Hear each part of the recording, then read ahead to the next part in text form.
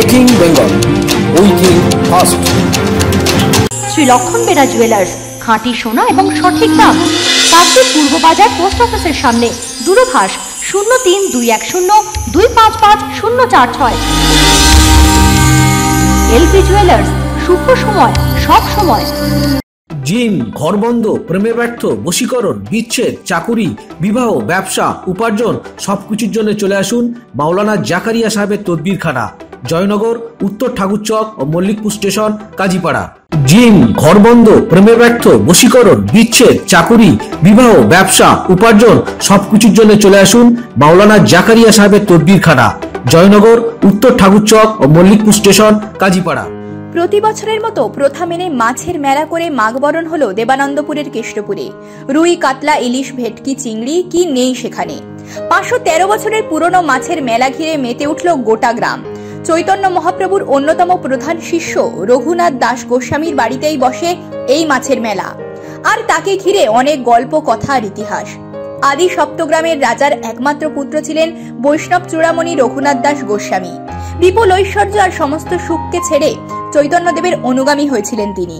দীর্ঘ প্রায় ন মাস পরে যখন ঘরে ফিরলেন, তাকে দেখতে ভিড় উপচে পড়ে রাজার বাড়িতে। ভক্তরা তাকে কাঁচা আমের ঝোল ও ইলিশ মাছ খাওয়ার আবদার করেন। তখন তিনি বলেন, বাড়ির পাশে আম গাছ থেকে আম পেড়ে আনতে হবে আর মাছের জন্য পাশের জলাশয়ে জাল ফেলতে। তার কথা মতোই মেলে আম আর জোড়া ইলিশ। আদি সপ্তগ্রামের মাছের মেলার সেটাই সূচনা। মোটামুটি একটু ভালো বেচে কিনা আছে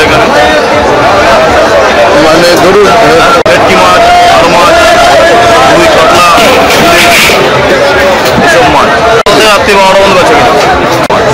সব বহুদের মাছই আছে। মেলা এখনও প্রতি বছর ভক্তরা রাধা গোবিন্দ মন্দিরে পুজো দেওয়ার পাশাপাশি মাছের মেলার আয়োজন করেন রঘুনাথ দাস গোস্বামীর ভিটেতে। পয়লা মাঘ একদিনের এই উত্তরায়ণ মেলা। প্রায় পঞ্চাশ জন মাছ ব্যবসায়ী মাছ নিয়ে আসেন এখানে।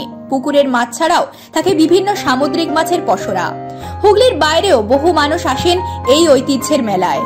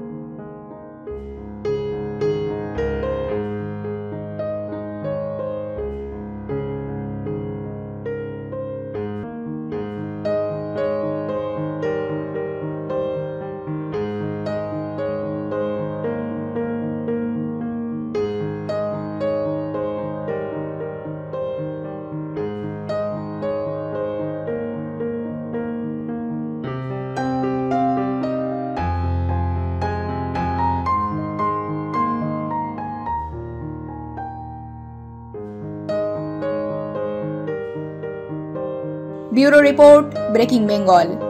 আমাদের খবরগুলি নিয়মিত দেখতে চ্যানেলটি সাবস্ক্রাইব করুন ও বেল আইকনে ক্লিক করুন। তান্ত্রিক জ্যোতিষী আচার্য রঞ্জিতানন্দ। ফোনে যোগাযোগ করুন nine eight three six four five nine five double one.